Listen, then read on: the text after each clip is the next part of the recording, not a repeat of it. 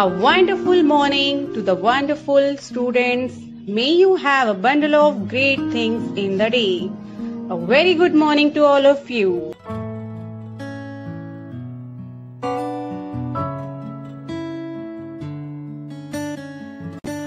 Know your enemy and know yourself, and you can fight a hundred battles without disaster. Disaster.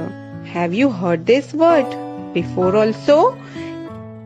Yes, we had already learned about the natural disaster or natural calamity. So, today we will do the revision of the same chapter, Natural Calamity. A calamity is an event that brings terrible losses. It is a disaster. Natural calamities are calamities caused by nature. They include disasters such as earthquakes, floods, landslides, cyclones, and volcanic eruption. Some calamities are predictable. For example, a hurricane some calamities, such as earthquakes, take us by surprise. We should also remember that during a calamity, we should come forward and help the victims of the calamity. It is always good for us to know about the different kinds of calamities so that we can be prepared. So, let us discuss about some natural calamities. An earthquake is a sudden, violent shaking or trembling of the earth's surface. Earthquakes are caused by the collision of the plates of rocks under the surface of the earth.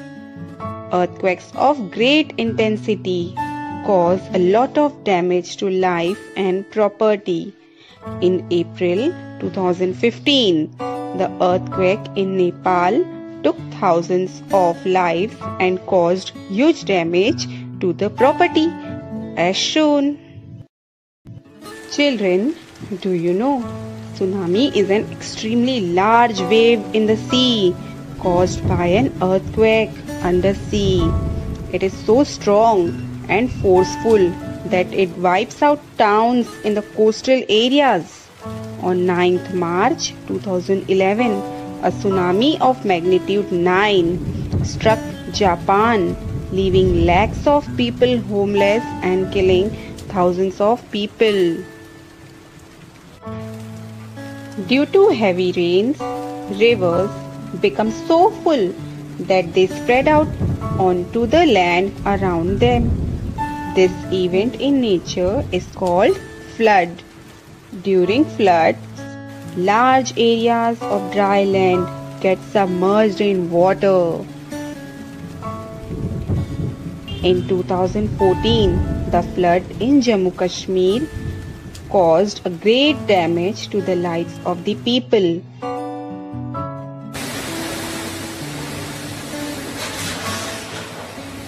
Oh my god, what is this? This is cyclone a fast moving, violent, and destructive windstorm.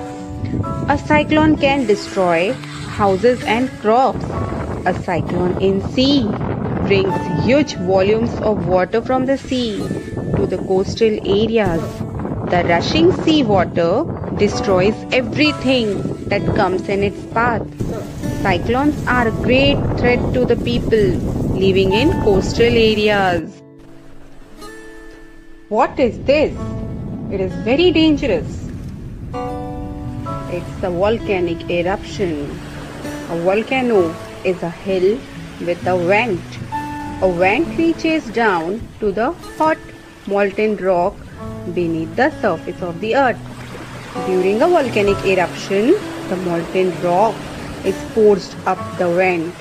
It flows out of the top as lava the lava flows out very fast and burns everything that comes in its way. It causes great damage to the life and property.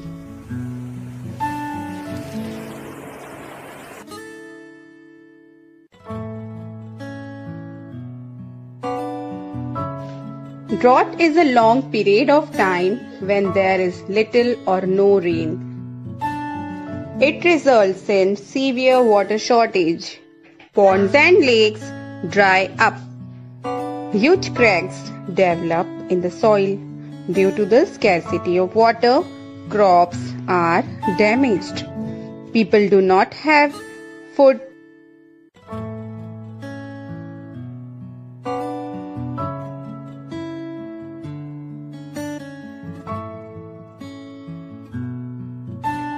When a massive rock breaks off, the slides down a hillside or mountainside, it is called as landslide.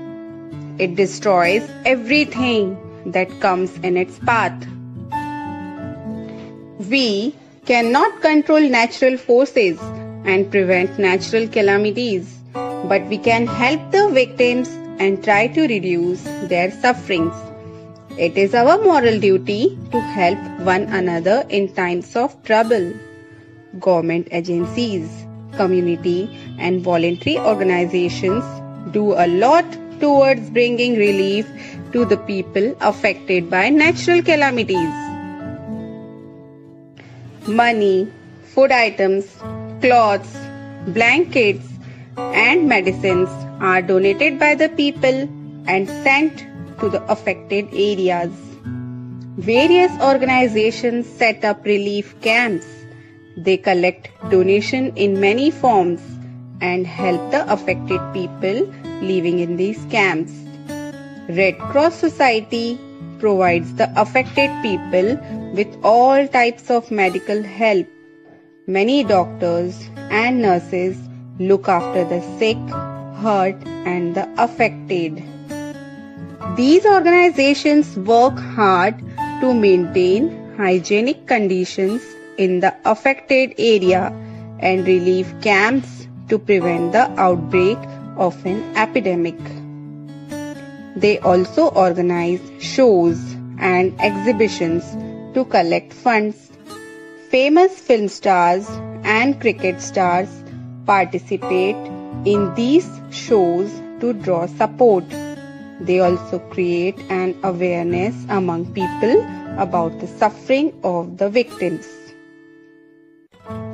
Radio, television, and newspapers play an important role in helping the affected people. In their special reports and bulletins, they convey the messages of the affected people to their relatives living elsewhere. The telephone department provides emergency phone numbers and helpline services at relief camps during such times of crisis. The other agencies that help people affected by natural calamities are the police, the navy, and the air force. The police work to save the people, protect their property, and help them reach relief camps safely. The Navy brings its boats and the Air Force uses its helicopters to rescue people and drop food, water, medicines, and other necessary items in the affected areas. As a preventive measures, we must plant more trees in our neighborhood. As a preventive measure, we must plant more trees in our neighborhood. Trees reduce the force of water during flood. Trees also act as a wind barrier during cyclones. It is therefore our duty to plant as many trees as we can. We can protect ourselves from disasters if we start taking care of our environment. Thank you children. Have a nice day.